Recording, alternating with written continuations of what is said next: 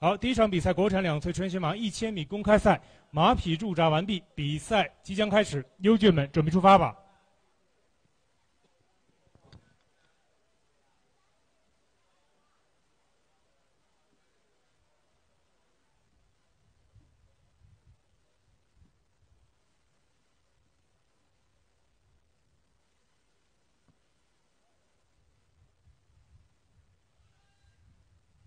好，闸门打开，所有的马匹冲出来。我们可以看到，在外栏有匹，那就是精彩人生。接下来可以看到是白色彩帽的是四号马荣誉传奇领先在前，后边是紫色彩帽的有八号马沙滩男孩，旁边还有蓝色彩帽的军师长，后边还可以看到黄色彩衣的是二号马勇者之胜。马匹在后边，马上就要最后的弯道了。我们看一下其他马匹的差距非常的小，整体大部队都没有变化。在弯道里边领先在前还是四号马荣誉传奇，紧接着就是一个马位之隔的一号马胜利帝王，接两个马位有多匹马，分别是有三。三号马军师长已经掉到了第五位，接下来后边的有几匹马，有沙滩男孩，后面还有黄色彩毛的二号马勇者之胜，最后暂列比赛比最后的是绿色彩毛的六号马众星公主，最后的三枚我们看一下，领先进入直路的还是四号马荣誉传奇，其他马匹在分列追，头马房的，还有七号马。